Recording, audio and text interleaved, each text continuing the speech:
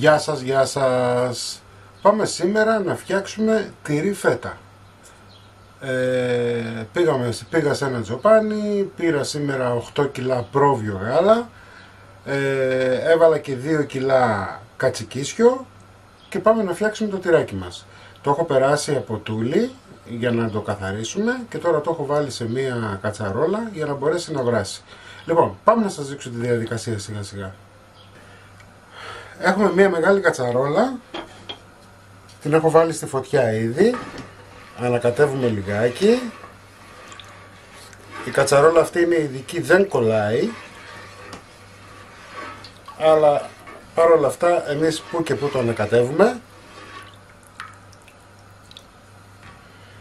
Και με το θερμόμετρο θα μετρήσουμε να φτάσουμε στους 65 βαθμούς για να κάνουμε την παστερίωση.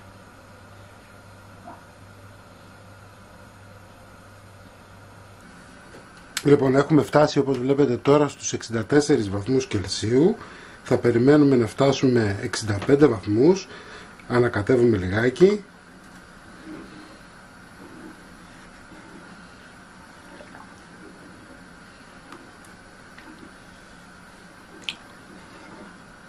Μπορείτε να το καταλάβετε και από το άχνισμα που κάνει, αν θα δείτε έχει αρχίσει και αχνίζει. Έτσι, εμείς είμαστε τώρα στους 64 και 9 θα το φτάσω στους 66 για να είμαι σίγουρος 100% 65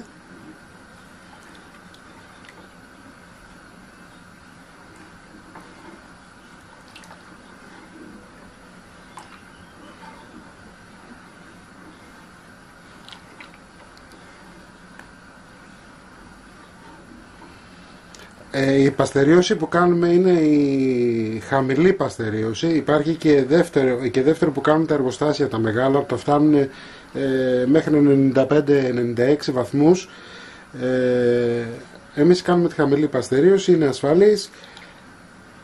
Λοιπόν, έχουμε φτάσει στους 65 και 9, 66, είμαστε έτοιμοι και κλείνουμε τη φωτιά μας. Λοιπόν, ανακατεύουμε λιγάκι.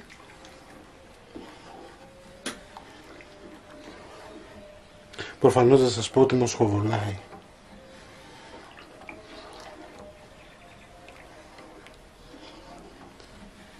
Και τώρα θα το αφήσουμε να πέσει θερμοκρασία για να μπορέσουμε να το πήξουμε. Λοιπόν, έχουμε αφήσει το γάλα μας και έχει έρθει σε θερμοκρασία 35 βαθμούς με θερμόμετρο, εντάξει, ε, αν κάνουμε κάτι να το κάνουμε σωστά. Λοιπόν, εδώ έχουμε ένα ποτι, μισό ποτηράκι νερό, θα βάλω υγρή πιτιά, θα σας δείξω μετά. Και θα βάλω και μία κουταλιά της σούπας αλάτι. Εντάξει, ανακατεύουμε καλά Ανακατεύουμε, ανακατεύουμε να λιώσει καλά το αλάτι μας και ρίχνουμε μέσα στο γάλα μας.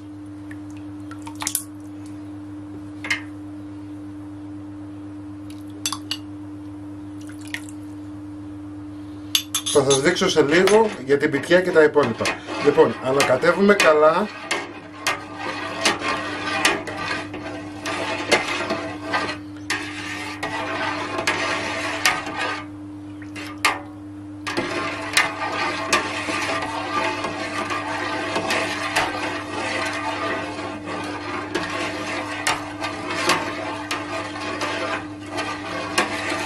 τώρα θα αφήσουμε την πιτιά να λειτουργήσει.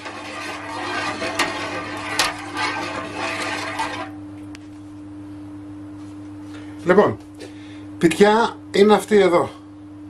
Εντάξει, αυτή μπορείτε να τη βρείτε σε κτηνοτροφικά είδη, σε φαρμακεία, σε σούπερ μάρκετ υπάρχουν. Ε, υπάρχει υγρή και ξερή. Ο, συνήθως έχουν πάνω δοσολογία ε, και σας λένε πόσο ακριβώς θα βάλετε. Να ξέρετε ότι αν βάλετε λίγο παραπάνω θα γίνει πιο πιπεράτη η γεύση της. Αν βάλετε λιγότερο θα δυσκολευτείτε στο πίξιμο έτσι.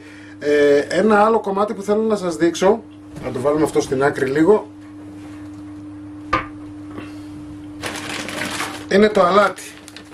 Έτσι, δεν θα μου πάρετε όποια μάρκα θέλετε. Υπάρχει ειδικό αλάτι που είναι για τυροκομικά εντάξει, δεν είναι ιωδιούχο Ε, οπότε καλό είναι να βρείτε τέτοιο αλάτι. Ε, όσο αφορά τώρα το πρόβιο γάλα και το γίδινο, να ξέρετε ότι επειδή ξέρω ότι πολλές κυρίες δεν πρόκειται να βρείτε πρόβιο, μπορεί να γίνει και με γελαδινό από αυτό που πουλάνε στα σούπερ μάρκετ. Έτσι. Δεν θα είναι όμως φέτα, θα είναι λευκό τυρί. Λοιπόν, αφήνουμε μισή ώρα το γάλα μας να πήξει καλά και θα συνεχίσουμε σε λιγάκι. Όπως είδατε προηγουμένως έχουμε ρίξει την πιτιά, έχουμε αφήσει 50 με 60 λεπτά και τώρα τι θα κάνουμε, θα κόψουμε, βλέπετε έχει γίνει σαν ζελές το γάλα μας και τώρα θα κόψουμε για να ανέβει η πιτιά, για να ανέβει το τυρί μας επάνω, μάλλον το τυρόπιγμα και να καθίσει το, το τυρί. Βλέπετε, κοιτάξτε πως, πως έχει γίνει, πως έχει πήξει.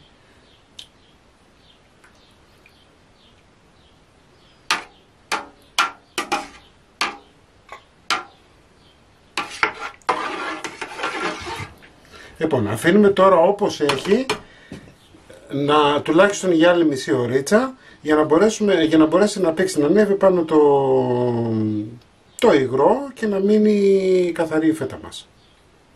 Λοιπόν, μετά από 50 λεπτά, μία ώρα, έχει χωριστεί, βλέπετε, είμαστε έτοιμοι. Θα πάρουμε και σεδάκια, πουλιούνται στο εμπόριο και θα βάλουμε το τυράκι μας μέσα.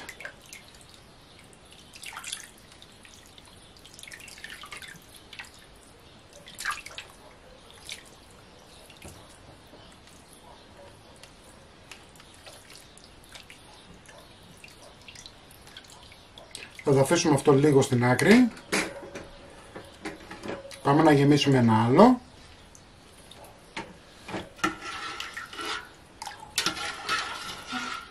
Λοιπόν, τώρα θα γεμίσουμε αυτά τα τρία καλά. Έτσι, και αφού τα γεμίσουμε και έχουμε θα πάμε και για το τέταρτο. Πάμε σιγά σιγά. Βάζουμε λίγο τυράκι ακόμα, στο πρώτο, εδώ δηλαδή.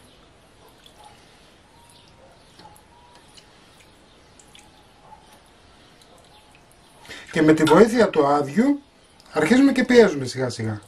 Πιέζουμε, πιέζουμε, πιέζουμε.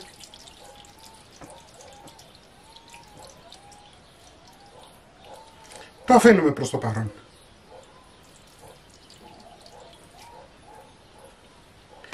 Βάζουμε, το αφήνουμε στην άκρη αυτό, βάζουμε στο επόμενο πάλι λίγο τυρί να ανέβει λίγο πιο ψηλά. Πιέζουμε να φύγει το πολύ υγρό.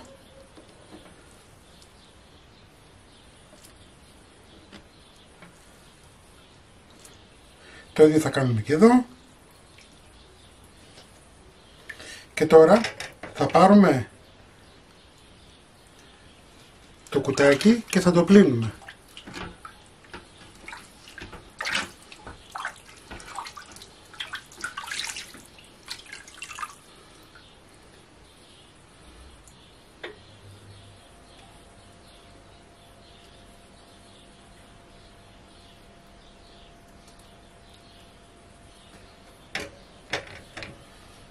Το ίδιο θα κάνουμε και με αυτό.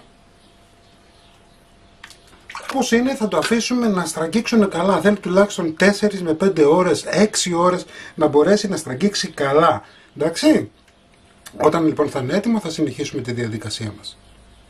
Λοιπόν, το αφήσαμε, το αφήσαμε 6 ωρίτσες. Βλέπετε το τυρί έχει ήδη πήξει. Θα το ξεφορμάρουμε.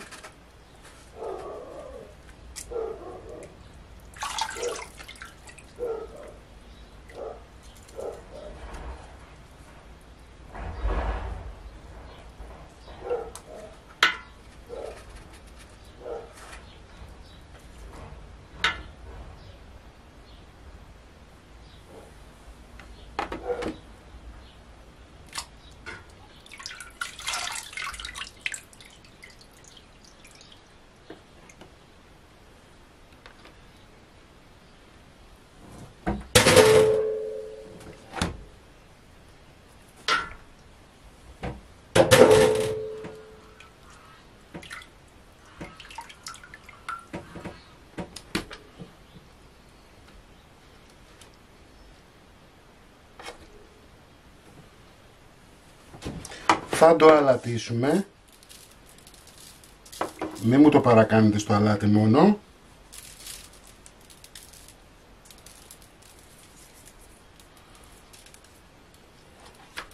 Το ίδιο θα κάνουμε και με αυτό.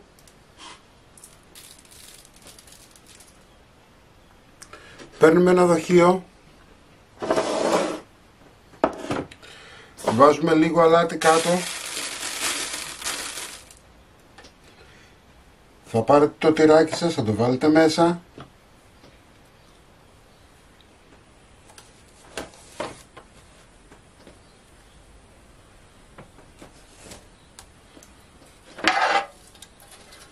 Θα πάρουμε άλμη.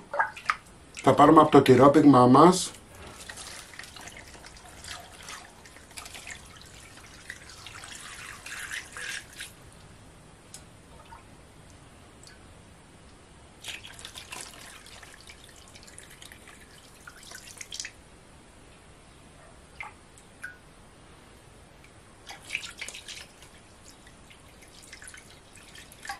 και θα καλύψουμε το τυρί μας.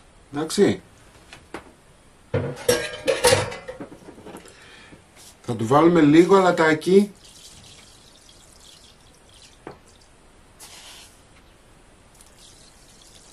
Στο κάθε λίτρο νερό περίπου 80 γραμμάρια αλάτι.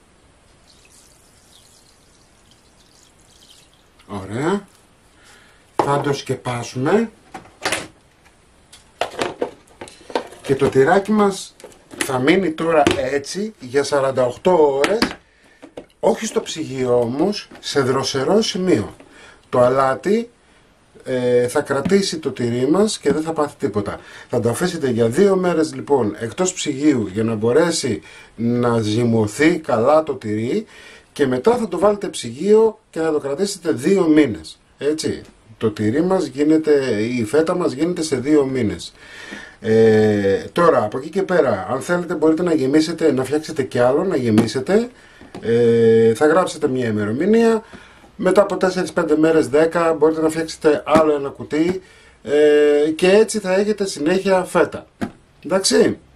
Λοιπόν, μην ξεχνάτε να κάνετε κοινοποίηση στα βίντεό μας. Οτιδήποτε χρειάζεστε μπορείτε να έρθετε στην ομάδα μας στο facebook, μαγειρικές απολαύσεις. Τη συνταγή θα την εβάλω και στην ιστοσελίδα μας αλλά και κάτω από το βίντεο και σε καρτέλες ε, να είσαστε καλά πιστεύω να το φτιάξετε να ξέρετε ότι μπορείτε να το κάνετε με οτιδήποτε γάλα υπάρχει ακόμα και από το εμπορίου ε, το θέμα είναι ότι δεν θα είναι τυρί φέτα, θα είναι λευκό τυρί, δεν έχει σημασία, η προσπάθεια μετράει. Έτσι.